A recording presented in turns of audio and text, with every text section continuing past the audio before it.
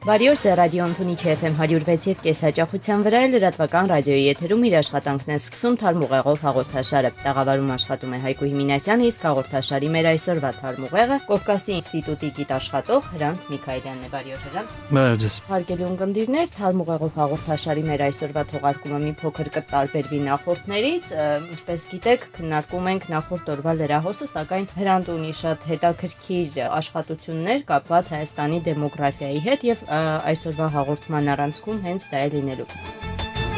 Մենք շատ հաճախ լսում ենք, որ Հայաստանում բնական աճը խախտվել է, որ Հայաստանում այս տեմպերով շարունակվելու դեպքում կմնա մոտ 500.000 մարդ։ Մենք լսում ենք, որ օրեցօր ուժեղանում է արտագաղթը եւ այլն եւ այլն, սակայն ինչպես մինչեւ տաղավար մտնելը դուք նշեցիք, այն բոլոր խոսակցությունները, որոնք կան, ինչ որ հիմնավորումներ չունեն, հա, այսինքն ավելի օթի մեջ են։ Ինչ են ցույց տալիս ձեր աշխատությունները, ինչ վիճակում է այսօր Հայաստանի դեմոգրաֆիան։ Հայաստանը ապրում է դեմոգրաֆիական անցման երկրորդ փուլին ու դա նշանակում է, որ ծնելիության մակարդակը իջնում է, բնակչությունը ծերանում է, մահացությունը աճում է, նույն ժամանակ կյանքի տևողության սպասվող մակարդակը ավելի աճում է ու նաև մանկական մահացության մակարդակը իջնում է։ Դա գործընթացը, որը անցել են շատ երկրներ ու Հայաստանը ստեղ ոչ մի բացառություն չի։ Ինչ վերաբերվում է բնական աճին։ Իհարկե, եթե համեմատենք 80-ականների կամ նույնիսկ 60-ականների հետ, Հայաստանի հասարակությունը լրիվ ուրիշ է եղել, բայց քանի որ որոշ տնտեսական պատմական գործընթացները անցել են այդ ժամանակվա ընթացքում, ուրեմն հասարակությունը փոխվել է ու դա ոչ մի առանձնահատուկ երևույթ չի։ Դա նորից եմ ասում, բնորոշ է բոլոր հասարակություններին, որպես կանոն բոլոր հասարակությունները դա անցնում են։ Որոշ հասարակությունները դա անցել են մի քիչ շուտ Հայաստանից, որոշները դեռ չեն անցել, եթե մենք խոսում ենք օրինակ Աֆրիկայի մասին կամ Մերձավոր Արևելքի մասին, չնայած որ որոշները արդեն սկսեցին, բայց ընդհանուր process-ը այդպես է ամբողջ երկրագնդում։ Բայց ինչ տեղողությամբ, հա, այսինքն նոր անկախ պետությունների մասն է խոսքը, ինչի մասն է խոսքը, հին ժողովուրդների մասն է խոսքը, այսինքն երբ է գալի այդ ժամանակաշրջանը, որ բնական աճը նվազում է։ Ուրեմն սկզբից Եթե նայենք պատմական ժողովրդագրության մեջ, անցած դարերում առողջապահության մակարդակը շատ ավելի ցածր էր ու ընդհանրապես առողջապահության տեսակետից բավականին բարձր էր վիճակը։ Մանկական մահացությունը բարձր էր։ Ստեղ կարամ ու մի երկու թիվ բերեմ։ Ուրեմն, եթե մենք նայենք Հայաստանի հասարակության, հայ հասարակության 19-րդ դարվա, մոտավորապես 27% երեխաների մահանում էին մինչև 1 տարեկան։ Հիմա այս տոկոսը իջել է մինչև 1%։ Այսինքն այդ ժամանակ մարդկանց համար էական էր շատ երեխա ունենալը, որովհետև այդ երեխաները պետք է սկզբից մինչև իրանց ծնողների ծերացումը ապրեն, որpիսի հետո իրանց պահեին։ Այսպիսի վերաբերմունքը իհարկե կար, ինչ որ չափով մնում է հիմա, բայց հիմա արդեն կա որոշ պետական մեխանիզմներ, չնայած որ կենսաթոշակը ցածր է, բայց առաջ ընդհանրապես չի եղել ու նաև երեխաների մահացությունը ավելի ցածր է, այսինքն այդ առաջվա մեծ նշանակությունը մեծ երեխաների քանակի մարդը այդքան շատ չի զգում իր կյանքում ու հիմա արդեն մի քիչ ավելի շատ ինչքան ուզում է այդքան է ունենում, ոչ թե ինչքան որ պետք է։ Այսինքն ստեղ մարդիկ իրանցով ընտրում են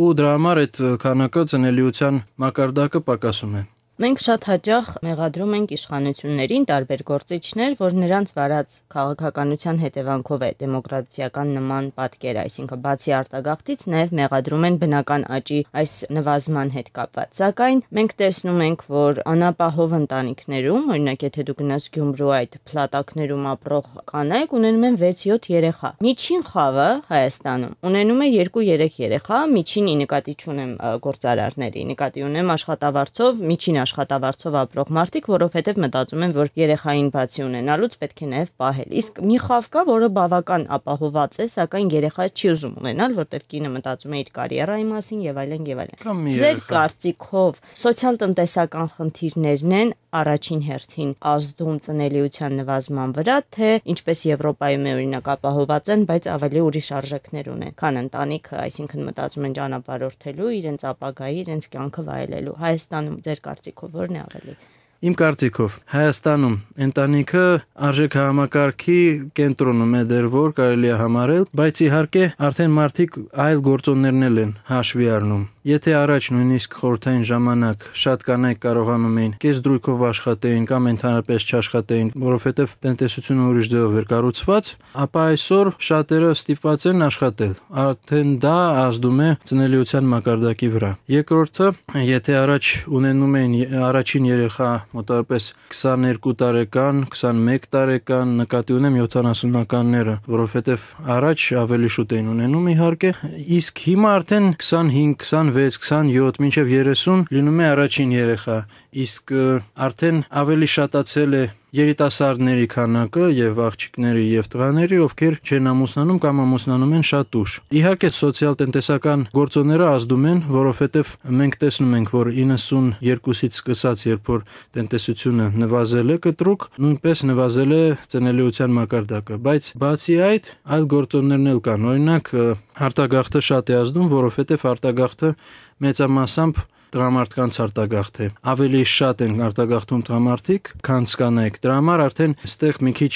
հարաբերակցությունը փոխում է դեպի կանանց գերակշիռը։ Ու արդեն ավելի դժվար է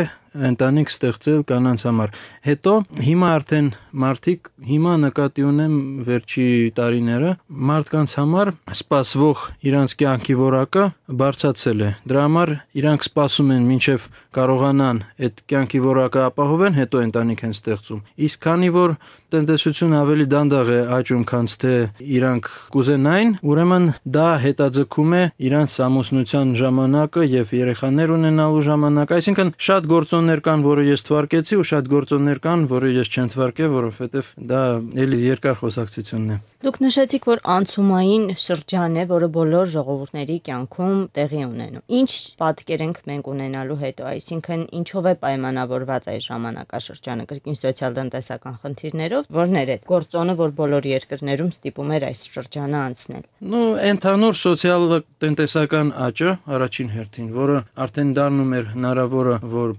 երեխաները ապրեին ավելի երկար, այսինքն նորածին երեխան առաջ միջին կյանքի տևողությունը 30-40 տարի էր, եթե ապրեց մինչև 5 տարի, դե ուրեմն մինչև 50-55 տարեկան, իսկ հիմա արդեն նորածին երեխան Հայաստանում միջինում կապրի 74 տարեկան ու մեծ հավանականությամբ նաև ավելի երկար։ Այսինքն արդեն դա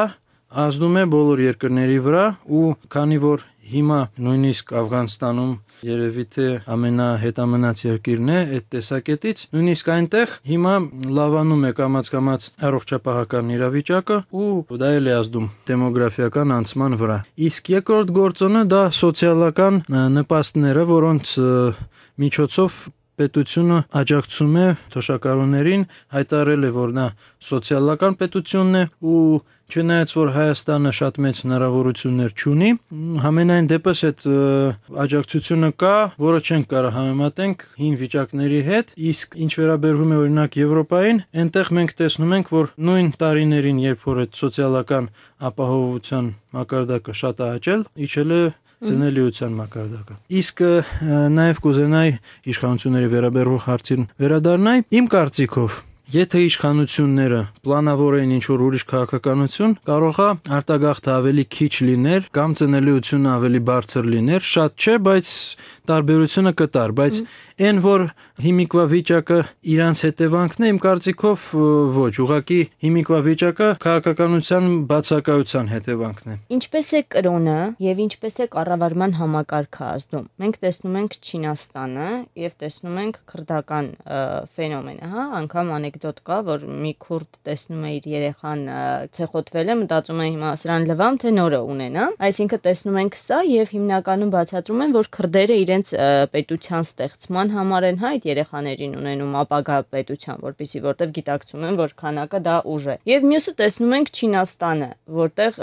կարծես կրոնի, հա, ազդեցության հետևանքով է։ Ձեր կարծիքով այս գործոնները որքանով են մեր վրա ազդում, այսինքն մենք չունենք ազգային պետություն եւ չենք պատկանում այնպիսի կրոնի, որը մեզ գասի բազմացեք ինչքան կարող եք։ Քրիստոնեությունն էլ է քարոզում բազմացեք, բայց ստեղ նայեք,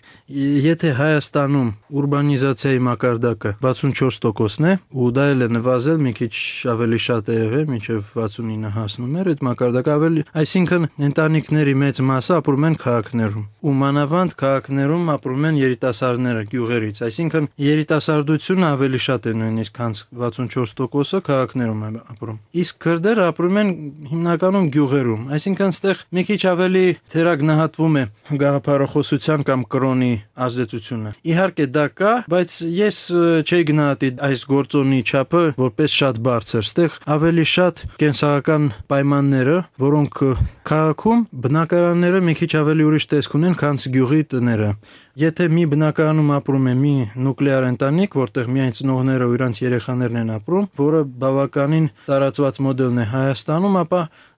քրդերի մեջ օրինակ, հա, օրինակ քրդերի մեջ, քանի որ իրանք գյուղում են ապրում։ Ուրեմն իրանց մոտ ընտանիքները ավելի մեծ են, մի քանի սերունդ ապրում, ու այնտեղ հնարավորություն ունի օրինակ կինը երեխա ունենալ ու չմտածել, որ վաղը ես չեմ կարողանա գործի գնալ, որովհետև իրան օրինակ երեխային նայող կա։ Այսինքն ստեղ ապրելակերպի տարբերությունը ամենամեծ կշիր ունի, ես կասեի։ Իսկ Չինաստանում, երբ այնուամենայնիվ քաղաքներում են ապրում, բայց միևնույն է, այնտեղ էլ արդեն թվականակի խնդրեմա կամ Եգիպտոսում։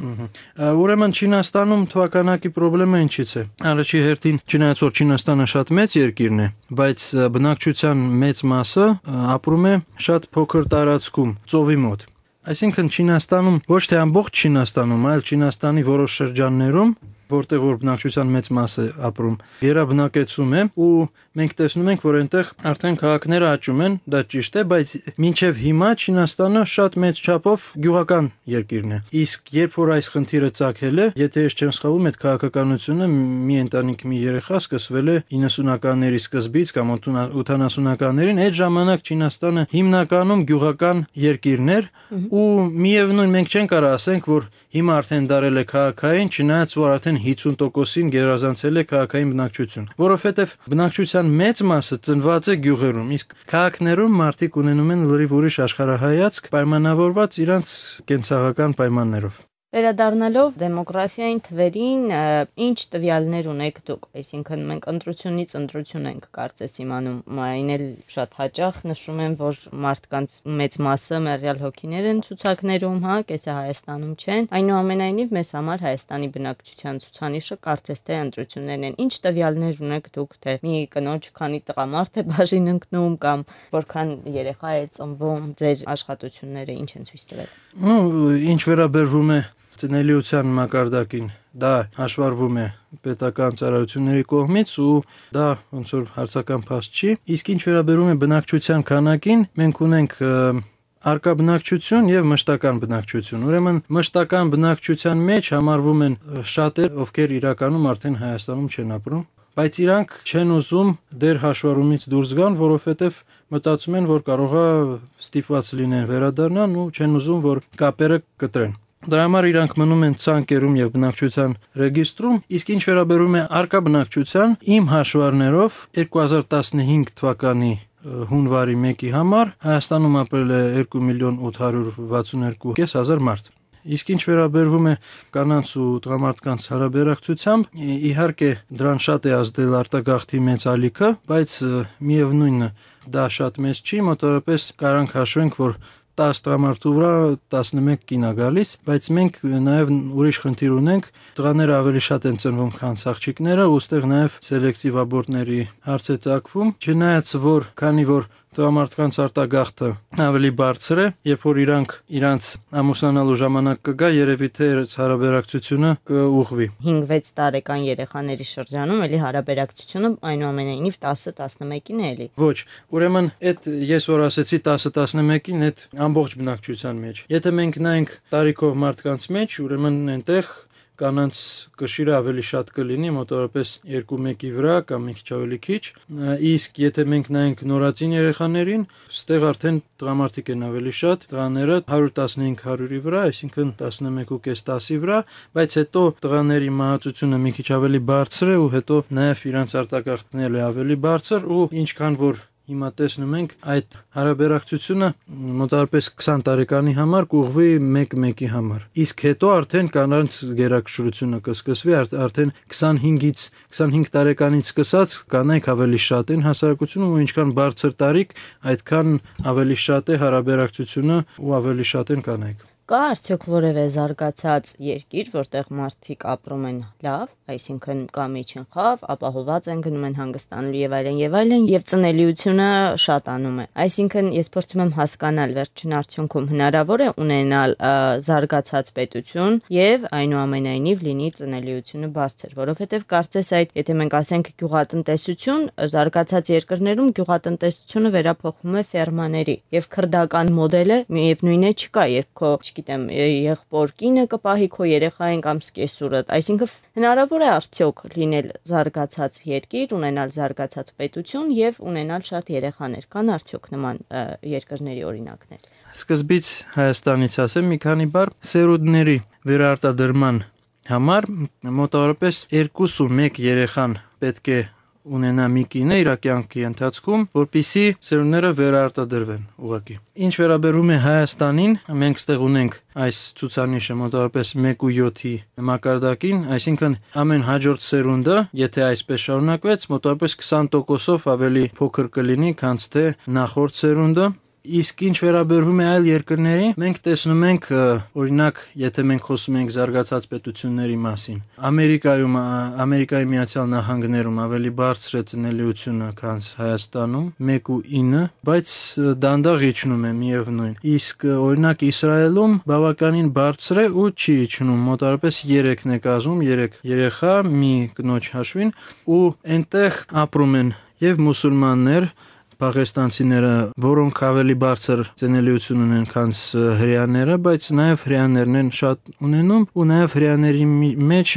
կա խասինների խումբ, որոնք շատ են ունենում, մինչև 6-7 երեխա, ու իրանք կրոնական կանոններով են ապրում, լրիվ ուրիշ համայնքներ են, դրանք մի քիչ տարանջատված են ամբողջ հասարակությունից, բայց ամբողջ հասարակությունն էլ բավականին բարձր ծնելիություն ունի։ Մենք ունենք նաև Իռլանդիայի օրինակ, որտեղ որ բավականին բարձր է ծնելիությունը կամ Իսլանդիայի օրինակ, բայց հիմնականում զարգացած պետություններում ծնելիությունը բավականին ցածր է։ Օրինակ, եթե մենք նայենք Ճապոնիային, այնտեղ 1.2-ն է, Գերմանիան 1.2-ն է, Սինգապուրը մոտավորապես 1-ը, այսինքն այնտեղ բավականին ցածր է տնելիությունը, ինչ վերաբերվում է ընդհանրապես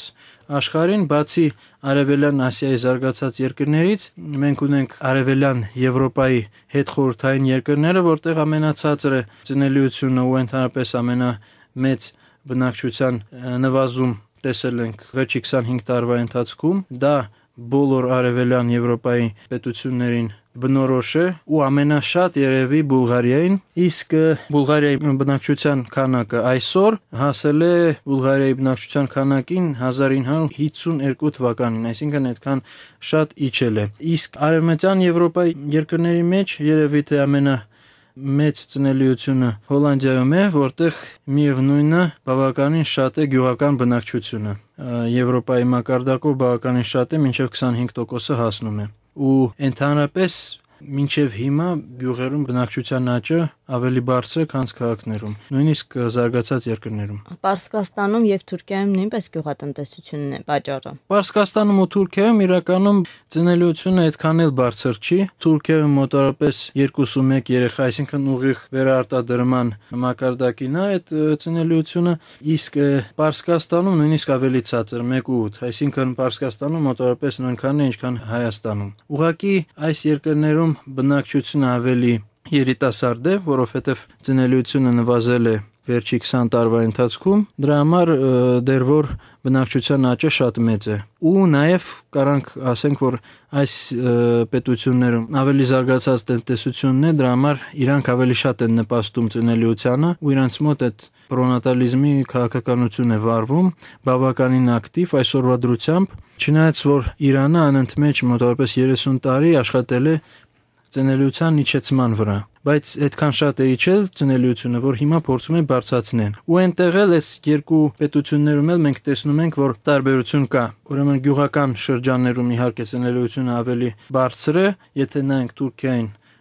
Իրաքի եւ Իրանի սահմանին գտնվող շրջաններում բարձր է ծնելիությունը, իսկ Ստամբուլում կամ Իզմիրում ցածր է ծնելիությունը, հա, Ստամբուլում ու Իզմիրում մոտավորապես 1.5-ն է, իսկ այդ շրջաններում, որտեղ ճիշտ է հիմնական բնակչությունը քրդականն է, այնտեղ մոտավորապես 3-ից ավել է։ Նույնպես Պարսկաստանում մայրաքաղաքում ցածր է, իսկ որոշ շրջաններում ավելի բարձր։ Շնորհակալություն այսպիսով ամփոփելով հաղորդումը, ձեր կարծիքով ինչը Հայաստանի դեմոգրաֆիական պատկերը կփոխի։ Ну, ստեղ պետք է շատ մեծ ծրագիր պետք է մտածվի, որովհետև པարս մեթոդներով այս իրավիճակը փոխել հնարավոր չի։ Ուղղակի ասենք, որ մենք նորաստեղծ ընտանիքներին ավելի շատ փող կտանք կամ չգիտեմ, այսպես չէ։ Եթե մենք մշակենք քաղաքականությունը, որը կնպաստի օրինակ մանկապարտեզներում ավելի շատ տեղ բացելու կամ ավելի երկար դպրոցական օրը երեխաների համար։ Դա կարող է մի քիչ ազդինում։ Գործոնները շատ են, պետք է ամեն ինչը հաշվի առնել ու ամեն գործոնի եւ դրական եւ հակասական եւ դրական եւ բացասական ազդեցությունը պետք է հաշվարկվի ու պետք է հասկանանք, թե ինչ քաղաքականությունը կարա նպաստի։ Միայն փողով դա չի արվի իհարկե։ Շնորհակալություն հարգելի ունկնդիրներ, հիշեցնենք դուք լսում եք Թարմուղեղով հաղորդաշարը մեր այսօրվա թողարկման առանցքում դեմոգրաֆիաներ։ Տաղավարում մեր հյուրը Կովկասի ինստիտուտի գիտաշխատող Հրանտ Միքայելյանն էր։ Շնորհակալություն ուշադրության համար։